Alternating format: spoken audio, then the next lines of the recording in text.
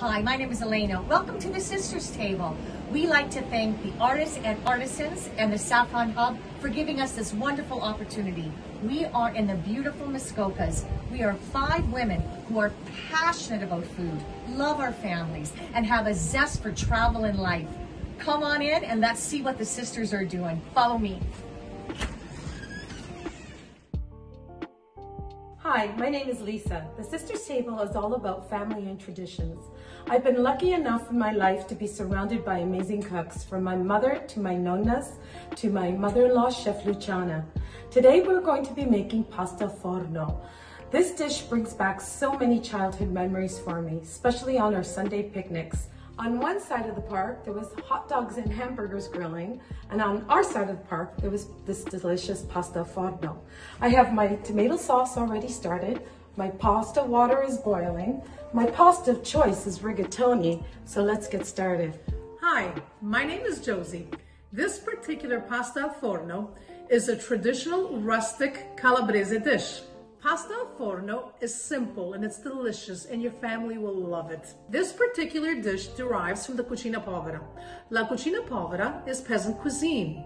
Peasant cuisine is food that is sustainable, that fills your belly, and that everything was used. Nothing was wasted. Today, we are making meat bresaola using ground beef. There, however, there are different versions. There are versions using ground pork or pork sausage, removing the casing and frying it up, or a vegetarian version using, I've done actually, I've used eggplants, uh, sun-dried tomatoes, um, infornate olives, and the smoked provolone. Hi, my name is Nora. The Sisters Table are huge supporters of using fresh local produce and shopping your local farmer's market. Here we have fresh farm eggs, we have some peas and some fresh shredded mozzarella that's all going to be added to our pasta al forno. I remember growing up, my mom making friends with as many farmers as she could. She'd bring them homemade fresh bread and pastries and they'd send her home with trays of fresh eggs, cow's milk, and fresh produce, which she'd incorporate in all of her recipes.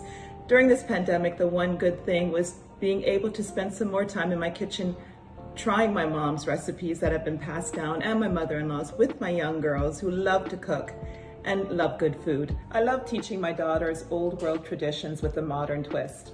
And that's what the Sisters Table is all about.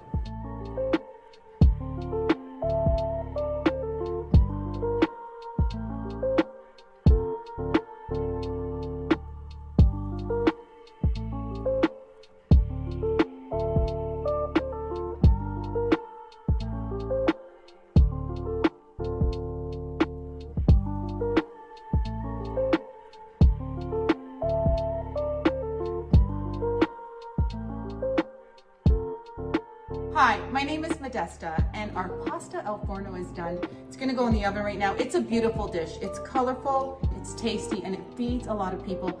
You know, food has brought the Sisters Table to life, and we love to share our stories from around our table. We believe the kitchen is the heart of the home, so when you sit down at your table tonight, what stories will you share with your family?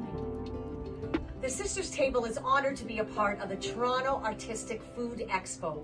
We would like to thank the artists and artisans and the Saffron Hub. On behalf of the Sisters Table, alla salute. Salute. Chin chin.